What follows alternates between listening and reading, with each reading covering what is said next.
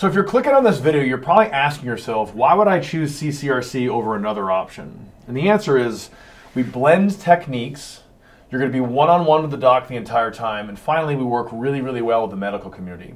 So on the topic of blending techniques, we're actually going to use a combination of you know what you might get at a traditional chiropractor and also what you might get at a massage therapist and what you might get at a, a typical physical therapist.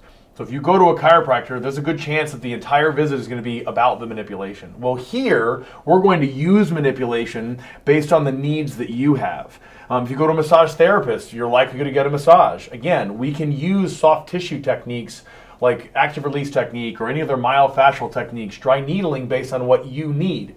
And finally, if you go to a typical physical therapist office, you're going to get passive modalities and exercise. Well, here again, we're going to basically do an exam and take all the information and bring it together so that we can offer you the best possible treatment plan that we can.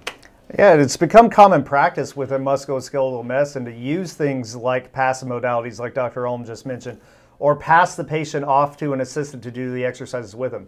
What we take pride in here at CCRC is the fact that every single visit is one on one with one of the CCRC physicians. So, what that allows us to do is be much more hands on with our approach, and then we can make changes along the way as we treat the patient. So, with that being said, we provide something called patient specific care, not condition specific care. Many of you may have experienced uh, condition specific care in the past, and that may be something like going to a clinic with something like low back pain. And we, we've seen this before where then they pull out the back pain packet, and there's a solid chance that for those next couple weeks, you are just strictly following the script. So being one on one with the patient allows us to do a really good exam, figure out the best course of action for you, the patient.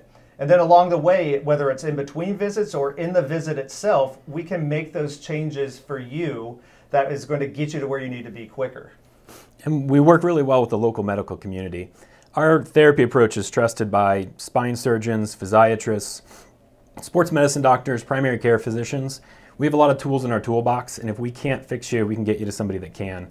We're not going to lock you in here and treat you without getting results. Our job is to get you better or use our network to help you figure out your next step. Uh, we've spent over 10 years referring back and forth with the local medical community to provide you the best possible care.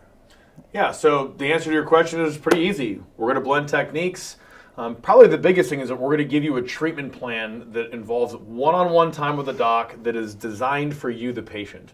And if it comes down to it and you need some other help that we can't fix you, like he just said, we're going to get you to somebody that can. So we're going to offer you some really high quality care the best that we possibly can. And if you have any questions about that, feel free to comment below. You can also give us a call at 614 389 4473, or you can check out our email, and that's columbuscrc.com.